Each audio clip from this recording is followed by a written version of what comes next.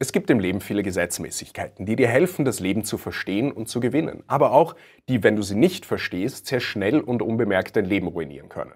Der Seneca-Effekt ist einer davon. Wenn du den Seneca-Effekt verstanden hast, wird er dir helfen, dabei Meisterschaft in unterschiedlichen Lebensbereichen zu erzielen. Egal ob im Bereich der Persönlichkeitsentwicklung, Unternehmertum, Sport, Beziehungen oder Spiritualität. Wenn du ihn allerdings nicht verstehst, kann er unbemerkt und vor allem sehr schnell dafür sorgen, dass es in deinem Leben bergab geht. Du kannst ihn aber vor allem auch nutzen, um die riesigen Stolperfallen zu vermeiden, die die meisten Menschen davon abhalten, erfolgreich zu werden und ein Leben nach eigenen Vorstellungen zu leben. Sehen wir uns den Seneca-Effekt mal in der Praxis an. Du kennst vielleicht die Unternehmen Kodak oder Nokia. Diese Unternehmen haben zwei Dinge gemeinsam. Nämlich einerseits, dass sie mal absolut dominant in ihrer Branche waren. Kodak war zum Beispiel Weltmarktführer im Bereich der analogen Fotografie. Das hat sich da auch der Begriff des Kodak-Moments etabliert. Also ein Moment, der so schön war, dass man ihn gerne als Bild festhalten möchte.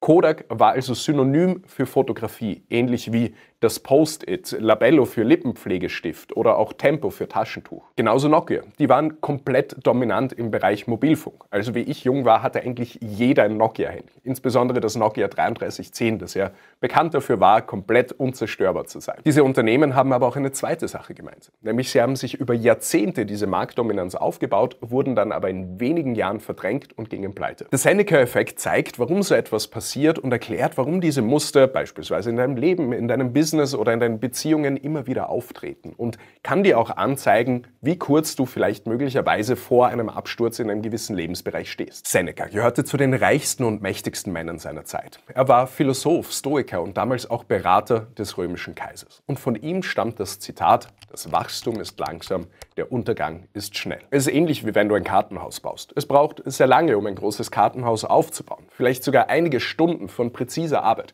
Aber dann reicht eine einzige Karte, die du rausziehst, und alles bricht zusammen. Und Seneca musste das selbst am eigenen Leibe erfahren. Er hat sein ganzes Leben damit verbracht, seinen Ruf und sein Vermächtnis aufzubauen und mit einem Schlag war alles weg. Er hat einfach ein paar falsche Kontakte gehabt und deshalb wurde er fälschlicherweise zur Verschwörung beschuldigt und zur Selbsttötung gezwungen. Der Aufstieg ist langsam, der Untergang ist schnell. Der Grund für diesen Effekt ist, dass unser Leben und die Welt aus Systemen bestehen. Wir haben ein Gesundheitssystem, ein Bildungssystem, ein Immunsystem, ein Herz-Kreislauf-System. Und große Systeme bestehen wiederum aus kleinen Untersystemen. Und all diese Systeme sind eng miteinander verbunden. Und wenn ein essentielles System zusammenbricht, bricht auch alles rundherum zusammen. Zum Beispiel ein winziges Blutgerinnsel verstopft die Gefäße im Herz. Dadurch kommt kein Blut mehr in die Lunge. Dadurch kommt kein Sauerstoff mehr ins Gehirn. Und das führt sehr, sehr schnell zum Tod. Das heißt, ein kleines Problem kann dafür sorgen, dass das ganze System zusammenbricht. Dieses Muster kannst du beobachten in deinem Privatleben, in deinem Beruf oder deinem Geschäft, in deiner Gesundheit oder deinen Beziehungen. Es gilt einfach für alle Lebensbereiche. Und die meisten fokussieren sich immer darauf, was sie noch dazu nehmen oder lernen können. Aber viele machen eigentlich schon 95 Prozent richtig. Aber die restlichen 5 Prozent machen alles wieder kaputt. Und deshalb ist es so wichtig, in deinem Leben funktionierende Systeme und Gewohnheiten aufzubauen, die eben gute Ergebnisse schaffen. Weil wenn nur ein Lebensbereich leidet, kann das alle anderen Lebensbereiche runterziehen. Den Fehler, den die meisten ja machen, ist, dass sie ihre Zukunft auf dem aufbauen, was in der Vergangenheit gut funktioniert haben. Und dass sie denken, okay, ich muss einfach nur die Dinge weitermachen, die in der Vergangenheit gut funktioniert haben und dann erziele ich auch in Zukunft gute Ergebnisse. Und dann entsteht Überheblichkeit, Selbstgefälligkeit und Bequemlichkeit. Aber damit startet dann häufig der Untergang. Denn in der Natur gibt es einfach einen Trend zur Unordnung. Das Ganze nennt sich Entropie. Das heißt, wenn du einen Zuckerwürfel in ein Glas Wasser gibst, dann ist es am Anfang sehr geordnet. Wir haben Wasser und einen Würfel Zucker. Aber je länger der drin bleibt, umso mehr wird sich der Zuckerwürfel verteilen und es wird sozusagen ein Chaos, eine Unordnung entstehen. Und das kannst du überall in der Welt und im Universum beobachten. Wenn man Dingen keine Beachtung schenkt, wenn man Systeme oder Ordnung nicht aktiv aufrechterhält, dann entsteht Chaos. Und wenn Chaos entsteht, brechen Systeme und ihre Funktionsweise komplett zusammen. Der Seneca-Effekt ist einfach der Feind von wahrer Meisterschaft und der Grund, warum wir häufig an einer Sache vielleicht eine Zeit lang gut sind, aber dann nicht mehr mithalten können. Weil viele denken einfach, wenn sie mal eine gewisse Expertise oder eine Meisterschaft in einem gewissen Lebensbereich erreicht haben, dann haben sie jetzt alles gelernt und dann passt das auch so und dann muss man sich auch nicht mehr drum kümmern. Aber unsere schnelllebige Welt entwickelt sich einfach so rasant weiter und genauso eben auch das Umfeld. Und da kann es einfach sein, dass man an einem Tag noch eine Expertise hat, hat und kurze Zeit später hat man einfach nur noch eine Fähigkeit, die keiner mehr braucht. Der Seneca-Effekt beschreibt einfach, wie lange es dauert, ein gewisses Level an Ergebnissen zu erreichen und wie schnell wieder alles weg sein kann, wenn man eben nicht dranbleibt. Wie eben genau bei den eingangs erwähnten Unternehmen, die sich über Jahrzehnte entwickelt haben und viel aufgebaut haben und dann ein paar Trends verpasst haben und innerhalb kürzester Zeit pleite gegangen sind. Und das kann man in so vielen Lebensbereichen beobachten. Egal ob in Beziehungen. Man baut über Monate oder Jahre eine Beziehung auf, aber dann wird man irgendwie gefällig, gewöhnt sich daran, arbeitet nicht mehr daran und die Beziehungen oder Freundschaften gehen dann wieder kaputt. Oder genauso auch, man baut über Jahre ein Business auf, das eine Zeit lang vielleicht sehr, sehr gut läuft. Aber auch dann wird man irgendwie selbstgefällig oder gemütlich und denkt sich, ja, die Kunden kommen eh von alleine, ich muss mich nicht mehr weiterentwickeln.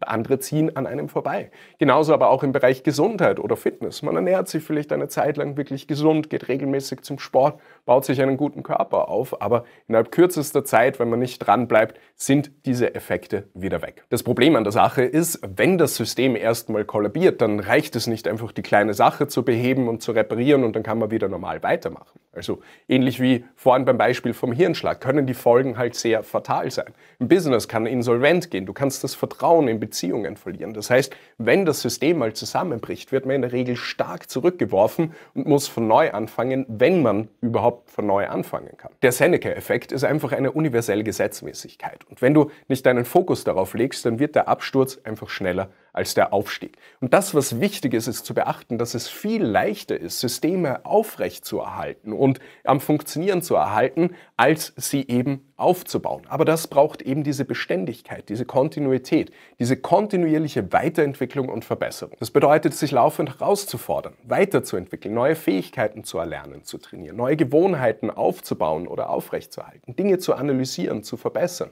weiter zu lernen und zu wachsen. Es ist dabei auch extrem wichtig, sich mehr auf die Handlungs- und Systemebene zu fokussieren, als auf die Ergebnisebene. Weil die meisten machen den Fehler, dass sie sich sehr auf die Ergebnisse, also die Ziele fokussieren. Ein gewisses Einkommen oder ein gewisser körperlicher Zustand oder auch eine Beziehung oder ähnliches. Nur der Punkt ist, wenn wir gewisse Ziele dann erreichen und sehr auf die Ergebnisebene äh, fokussiert sind, dann startet häufig die Bequemlichkeit und damit auch direkt der Untergang.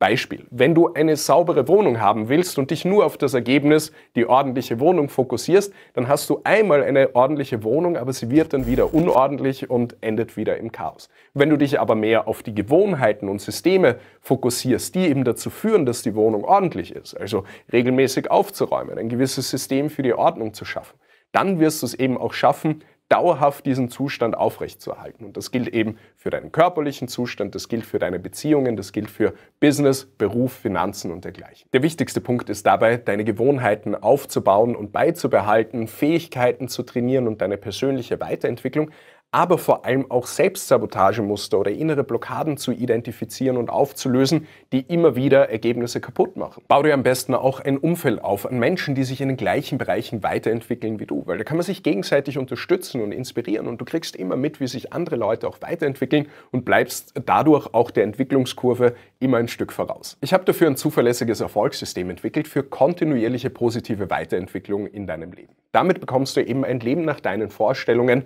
ohne dir selbst im Weg zu stehen oder immer wieder in alte Muster zurückzufallen. Und damit startest du einfach eine Aufwärtsspirale, die dein Leben automatisch immer weiter verbessert. Wie das Ganze funktioniert, erkläre ich dir in einem kostenlosen Videotraining. Das habe ich dir hier auf der Endcard oder in der Videobeschreibung verlinkt. Klick also jetzt einfach auf den Link hier oder in der Beschreibung und hol dir das kostenlose Videotraining.